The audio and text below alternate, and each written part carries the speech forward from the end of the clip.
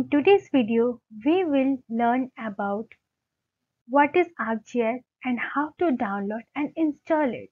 But first, let me introduce myself. Hello, I am Snigdha Mahapatra from the dawn of geospatial world. If you are new to our channel, then please subscribe to our channel to watch more interesting videos like this and if you watched our videos previously, then please ensure that you press the subscribe and bell button. Without more delay, let's start. Esri, the science of where. Esri is the leading producer of GIS softwares. It is an American multinational GIS software company. It is best known for its ArcGIS products. What is ArcGIS? ArcGIS is a geospatial software for viewing, editing, managing, and analyzing geographic data. ArcGIS is created by Esri and used for mapping on desktop, mobile, and the web. Science of Where is their motto. ArcGIS emphasis is therefore on location intelligence and analytics. Development of ArcGIS ArcGIS software is created by Esri, that is Environmental Systems Research Institute. The corporate office is located in Redlands, California.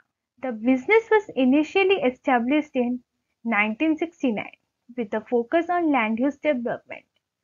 ArcGIS is the most popular GIS program on the market right now, holding a market share of over 40% by using geography as its main subject.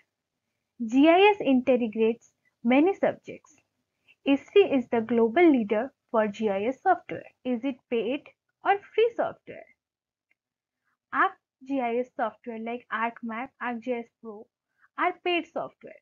After purchasing the software, you would get base maps and some tools with software, but for some additional tools and base map, you should buy them or install add-in or extensions. ArcGIS software categories. ArcMap. It is an interface where an user can create maps from starting. Main format is MXD that is Map Exchange Document. Arc Catalog. It is more like Windows Explorer to view data. User can view organize geographic data like a library. ArcGIS Pro. It is an advanced version of ArcMap. It has integrated 3D ribbon-based interface. These files are saved as a project file such as .aprx, ArcScene. By 3D Analyst extension, user can access ArcScene. It converts 2D images in 3D form. File format is .sxd. ArcGlobe. It is also useful to analyze an area in 3D format. But this is for larger area that is global extent. File format is .3dd. History of ArcGIS Esri has developed ArcGIS software for above 50 years. In this span, ArcGIS software has changed its interface, tools, workspace, and etc. In 1973, first GIS software was made by Esri in Maryland, PC Arc or Info. For individual personal computers, Esri released PCR Info in 1987. It was command line based. ArcView 1.0 First GUI based GIS software ArcView 1.0 was launched in 1991. ArcView 2 was launched with object oriented avenue programming.